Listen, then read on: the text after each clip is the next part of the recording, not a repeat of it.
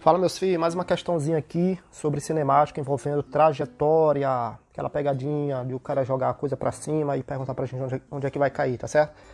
Vamos lá, o ERG 2010. No interior de um avião que se desloca horizontalmente em relação ao solo, com velocidade constante de 1000 km por hora, um passageiro deixa cair um copo. Observe a ilustração abaixo, na qual estão indicados quatro pontos no piso do corredor do avião e a posição desse passageiro.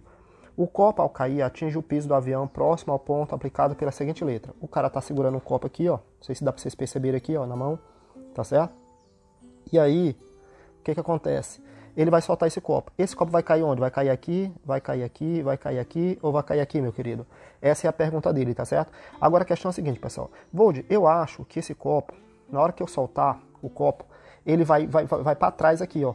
Por quê? Porque o cara vai para frente e o copo vai para trás. Não, não, não, não, não, não. Pelo amor de Deus, não diga isso não. Negativo.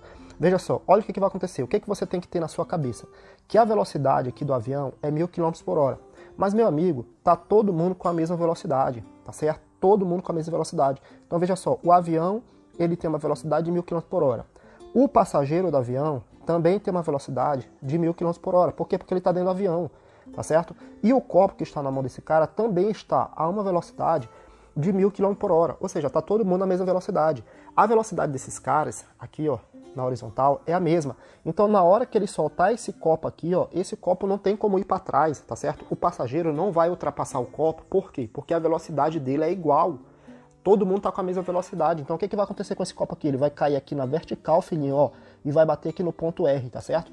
Então a resposta é letra C de casa, meu amigo. É só isso. Guarda que todo mundo tem essa mesma velocidade aí, tá certo? Para tu não errar esse tipo de questão, tá bom? Era isso, papo nego. Já era. Até mais.